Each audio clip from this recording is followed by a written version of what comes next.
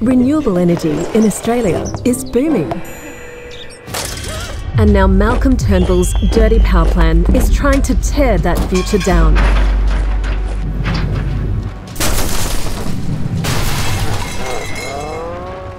Are we really just going to let them get away with this? No.